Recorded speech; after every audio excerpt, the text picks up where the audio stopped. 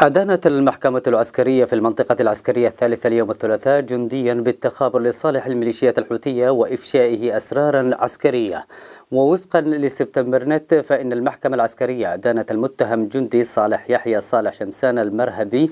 أدانته بالتخابر مع العدو المتمثل بالكيان الحوثي ومكاتبته بمعلومات عن الجيش الوطني. هذا وأقرت الحكومة في الجلسة التي عقدت اليوم بإعدام المتهم تعزيرا رميا بالرصاص.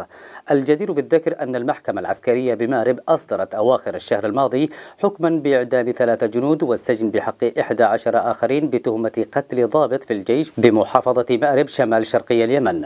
وفي سبتمبر الماضي حكمت المحكمة بالإعدام تعزيرا بحق خلية حوثية متورطة بجرائم اغتيالات لضباط بالجيش وزراعة عبوات ناسفة ومتفجرات استهدفت آليات ومعدات عسكرية.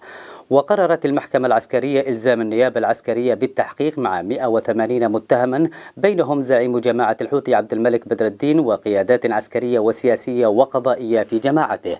ومؤخرا ألقى الجيش الوطني القبض على خلايا حوثية عديدة في مأرب وتعز.